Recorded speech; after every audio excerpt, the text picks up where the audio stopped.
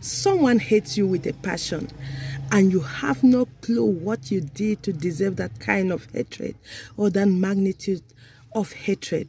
But God has a plan. Hallelujah. Glory to God. Welcome to Purpose and Marital Bliss with Pastor Honorine. I have a prophetic word for someone.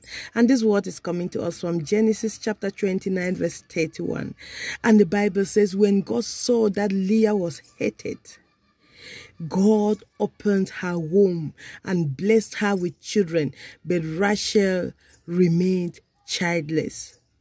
When God saw that Leah was hated, God opened her womb and blessed her with children. And God said, I should tell someone, because they hate you, He is about to bless you. There is a special blessing that comes when God realizes people are just fighting you and hating you for nothing. There is a special blessing. The Bible says because they hated him, they, they hated Leah, because Leah was unloved, God opened her womb. Because you, oh, if only your haters knew that they were helping you to get more blessed, they would have loved you instead. You are, oh, the Holy Spirit just told me before your table, before God prepares a table before you, there is need for enemies. There is need for enemies. Psalms 23 says he prepares a table before us in the presence of our enemies. He prepares a table before us in the presence of our enemies. Your haters are a necessary factor for the blessings of God. Your haters are needed for God to bless you.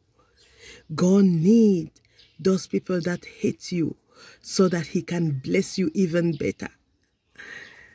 Because Leah was hated, because Leah was unloved, God opened her womb and blessed her. Someone, you are about to be fruitful because you are hated. You are about to be fruitful. Hannah was blessed with children when she prayed because Penina started making a mockery of her. Your mockers are going to eat their words because the Lord is about to pour out a blessing upon you. They have no idea. They are needed for that blessing to be poured out. God bless you. Shalom.